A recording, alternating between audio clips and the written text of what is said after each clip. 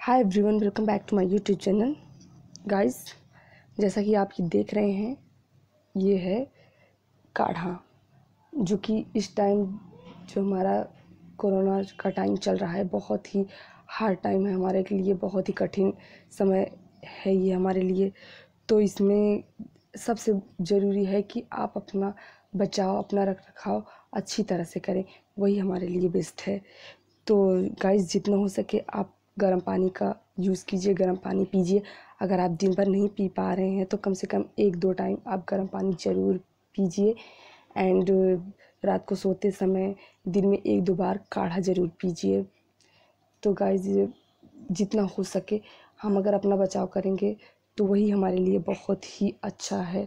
क्योंकि ये एक समझ लीजिए हमारे लिए एग्ज़ाम का टाइम चल रहा है।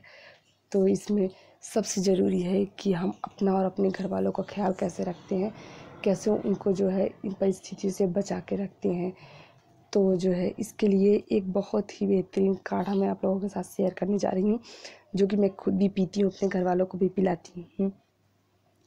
तो ये काढ़ा बहुत ही यूजफुल है आपकी इम्यूनिटी को बनाने के लिए। इसमें मैंने कई सारी चीज़ों का यूज़ किया है और जो है मैं इसे पीती हूँ बहुत ही टेस्टी होता है, है टेस्ट के लिए भी तो आप चाय को स्किप कीजिए, चाय कॉफ़ी को और उसकी जगह पे आप ये काढ़ा काढ़ा भी ले सकती हैं। एंड जो है मुझे ये बहुत पसंद है, इसीलिए मैंने सोचा कि ये रेसिपी मैं आप लोगों के साथ ज़रूर शेयर करूँ, क्योंकि बहुत ही ज़रूरी, इस टाइम तो बहुत ही ज़रूरी है कि आप दिन में एक दो बार काढ़ा का सेवन ज़रूर कीजिए, जिससे आपके बॉडी की इम्यूनिटी बनी रहे, रोग से लड़ने की क्षमता आपके अंदर रहे। तो वो चीज़ बहुत ज़रूरी है। अगर छोटी मोटी बीमारी भी आपको होती है तो उससे लड़ने की क्षमता आपके अंदर होनी चाहिए। तो जितना हो सके आप अपना बचाव कीजिए। ज़रूरी ना हो तो घर से बाहर ना निकलिए। बहुत ज़रूरी हो तभी घर से बाहर निकलिए। घर में रहिए। और घर से बाहर निकलिए तो मास्क ज़रूर लगा के रखिए। क्योंकि इस टाइम कोरोना ने एक बहुत भयानक रूप ले रखा है। हर इंसान उससे डरा हुआ है। चलिए गाइस हम आपको बताते हैं कि ये काढ़ा मैंने कैसे तैयार किया है और इसमें कौन कौन सी चीज़ों का यूज़ किया है। तो गाइस चलिए आपको बताते हैं कि इसमें मैंने कौन कौन से इंग्रेडिएंट्स यूज़ किए हैं कौन कौन सी चीज़ें यूज़ की हैं। तो ये देखिए, ये सारी चीज़ें हैं। मैं इसके नाम आपको बताती हूँ। ये है गिलोय, गुड़ और आठ से दस कुटी इलायची अजवाइन,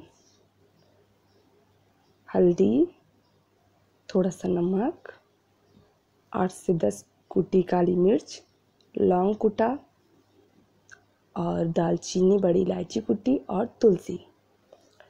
तो इन सारी चीज़ों को, ये सारी चीज़ें जो हमने यहाँ पे इकट्ठा किया हुआ है, इन सारी चीज़ों को मैं जो बॉइल्ड पानी है, जो मैंने पहले से बॉईल करने के लिए रख दिया है, अब ये पानी बॉईल होने लगा है। मैं इसमें ये सारी चीज़ें डाल दूँगी। तो देखिए, अब हमारा पानी अच्छे से गा, इसको हम, मैंने कुछ मिनट पहले ही रख दिया था उबलने के लिए। तो इसमें मैं ये सारी चीज़ें ऐड कर रही हूँ। ये देखिए, मैंने ग्लोर डाल दिया। और अब इन सारी चीज़ों को अब मैं गुड़ फिर बाकी की चीज़ें जो मैंने अभी आपको बताया था, वो सारी चीज़ें मैं इसमें ऐड करने वाली हूँ। देखिए। तो गाइज़ ये बहुत ही यूज़फुल है आपके लिए, बहुत ही यूज़फुल कार्ड है आपके लिए। अगर आप इसको पीती हैं तो आप कई सारी बीमारियों से बची रह सकती हैं आप लोग।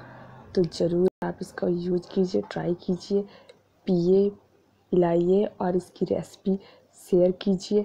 आपको वीडियो पसंद आता है तो इसकी रेसिपी आप जो है अपने फ्रेंड्स को भी शेयर कीजिए, अपने रिलेटिव्स को शेयर कीजिए, जितना हो सके उतना आप इसको शेयर कीजिए, क्योंकि इस टाइम बहुत ही ज़रूरी है ये हमारे लिए, आपके लिए, हम सब के लिए। तो देखिए, हमारा ये बॉईल होने लगा है तो जब ये पूरा बॉईल होने लगे, तब तक हम आँच को थोड़ा तेज़ रखेंगे और जब ये बॉईल होने लगे, उसके बाद हम फ्लेम को धीरे कर देंगे, क्योंकि धीमी फ्लेम पे ये अच्छे से पके। इसको हम 20 से 25 मिनट ऐसे पकने के लिए छोड़ देंगे। तो जो है, अब इसको हम 20 से 25 मिनट तक पकाएँगे।